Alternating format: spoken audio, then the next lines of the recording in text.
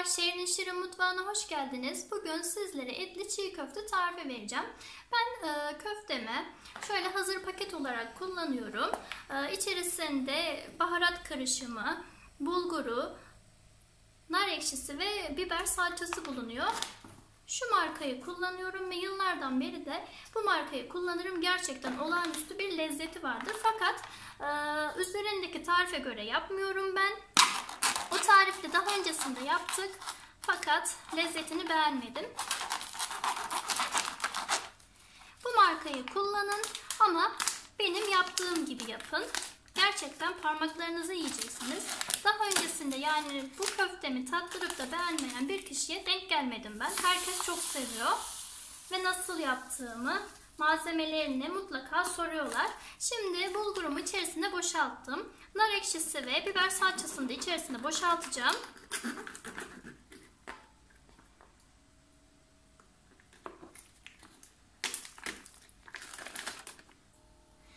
Ekşisi ve salçasını içerisine ekledikten sonra malzemelerimi yanıma aldım. Öncelikle şöyle 6 büyük diş ezmiş olduğum sarımsağımı içerisine ekliyorum. Sarımsağımı ezerken bir miktar tuz da kullandım. İçerisinde tuz olmasına rağmen bana göre yetersiz geliyor. O yüzden biraz daha tuz eklemesi yapıyorum. Ve e, bir çay kaşığı dolusu da kimyon ekliyorum. İçerisinde bütün baharatları var. Ama ben kimyonu sevdiğim için biraz daha ekliyorum. Saatimi çıkarmayı unutmuşum. Saatimi çıkarttım ve yoğurmaya, şöyle karıştırmaya devam ediyorum. Öncelikle bu malzemelerimi şöyle elimle bulgurları birbirine sürte sürte yediriyorum. Kesinlikle ben köftemde su kullanmıyorum.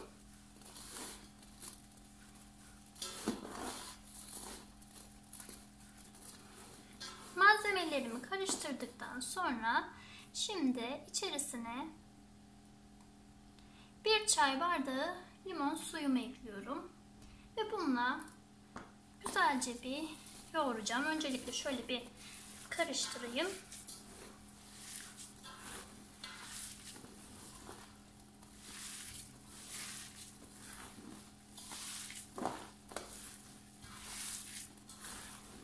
Böyle karıştırdıktan sonra şu şekilde bulguru tepsiye sürte sürte köftemizi yoğuruyoruz. Böyle limon suyunu iyice çekene kadar bu şekilde tekrarlayacağım.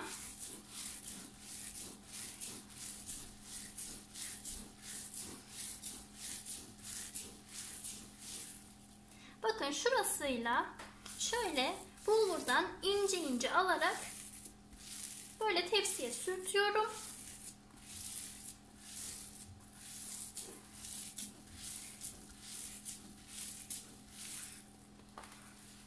Şöyle yapıp tekrar devam ediyorum.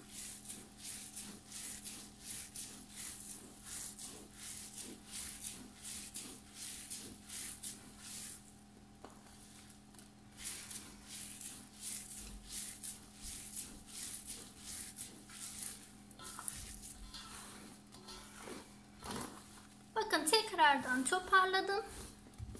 Kendi tarafıma doğru çekiyorum. Ve yine aynı işlemi uyguluyorum.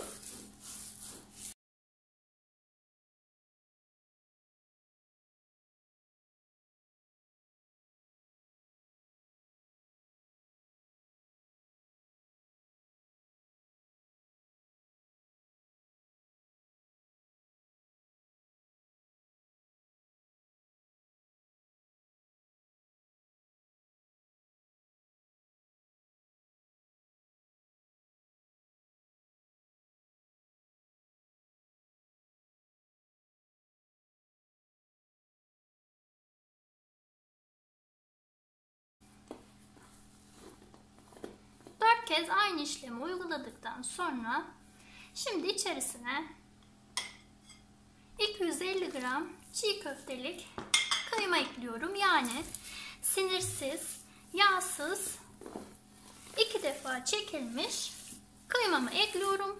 Şöyle güzelce yedireceğim. Ve etinizi kattıktan sonra bayağı bir yoğurmamız lazım.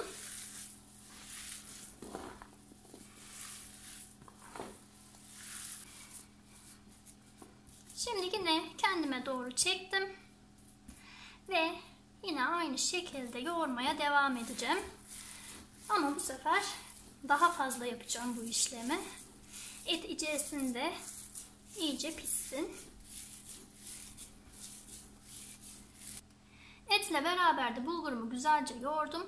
Ee, biraz önceki yaptığım işlemi 6 kez tekrarladım. Siz biraz daha fazla yapabilirsiniz istiyorsanız. Fakat bulgur bir yerden sonra artık kuruyor ve kayganlığını yitiriyor. O yüzden bu noktadan sonrasında şöyle içerisine zeytinyağımı ekliyorum. Zaten e, bir miktar yumuşadı. Zeytinyağıyla da beraber daha da yumuşayacak.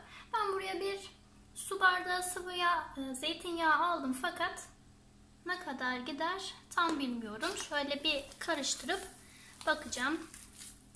Hepsini alır mı? Daha mı azalır bilemiyorum.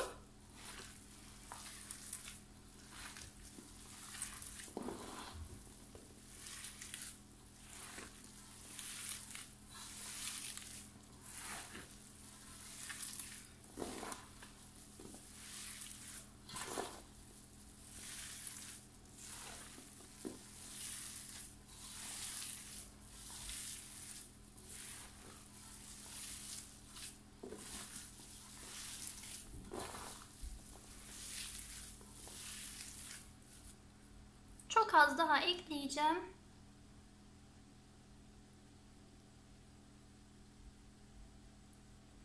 Şöyle bir parmak kadarını bırakıyorum. Ve yağla da beraber yine yoğurmaya devam edeceğim. Biraz zahmetli, yorucu oluyor. Ama yorulduğunuzda değecek kesinlikle. Elinizi sürekli tepsiye sürtmekten dolayı da biraz şu kısımları e, tahriş olabiliyor. Ama kesinlikle değer diyorum. Ben genelde e, eşime yaptırıyordum.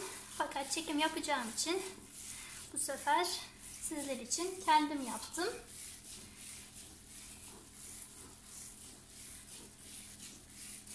Yine her zamanki yaptığım gibi bu şekilde devam ediyorum. Bu işlemi de yine birkaç kez tekrarlayacağım.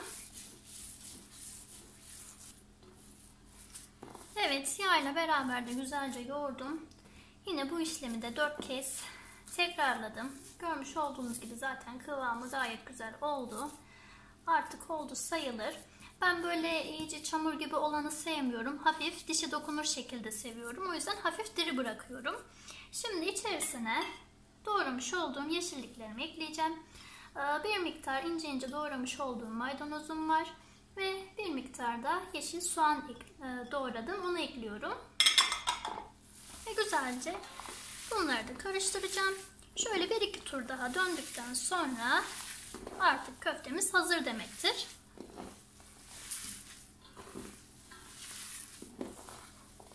Evet köftemi yoğurma işlemim bitti. Toplamda yarım saat kadar yoğurdum ve çiğ köftemi elde ettim. Görmüş olduğunuz gibi kesinlikle içerisine su eklemedim. Sadece limon suyuyla mükemmel bir çiğ köfte elde ettim. Şimdi ellerimi yıkayacağım ve sıkma aşamasına geçeceğim.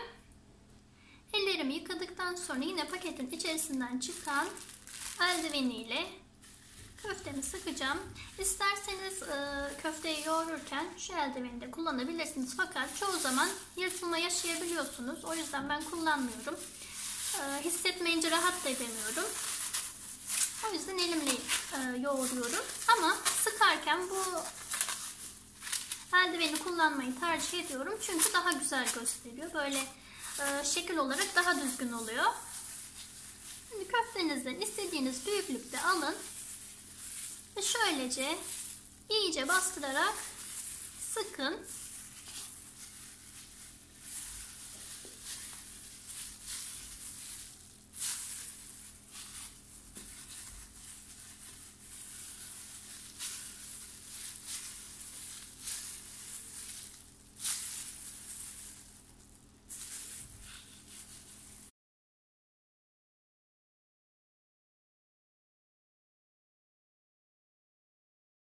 Köftemin hepsini sıktım ve bir servis tabağına aldım. Köftemi sıkarken ve e, fotoğraf çekimi yaparken beklediği için biraz kuruma yaptı. Şöyle yakından da göstereyim ama siz e, sıktıktan sonra direkt yiyin. Çünkü bekledikçe böyle çekiyor ve kuruma yaşıyorsunuz.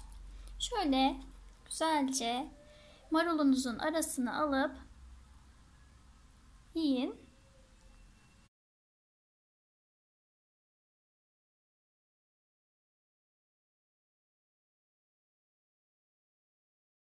Gerçekten çok lezzetli, çok da iddialıyım bu tarifimde. Kesinlikle deneyip tadan herkes bu lezzete bayılacak. Tadanlar mutlaka tarifini soracak. Tabii ki e, çiğ köfteyi farklı farklı şekillerde yapanlarımız var. Orijinali daha farklı ama ben annemden babamdan öğrenmiş olduğum şekliyle sizlere aktardım. Çok da güveniyorum çünkü tadan herkes gerçekten çok beğeniyor. Sizlerin de beğeneceğinden bu yüzden eminim. Deneyecek arkadaşlarıma şimdiden kolay gelsin. Beni izlediğiniz için teşekkür ederim. Daha sonraki videolarımda görüşmek üzere. Hoşçakalın, sevgiyle kalın.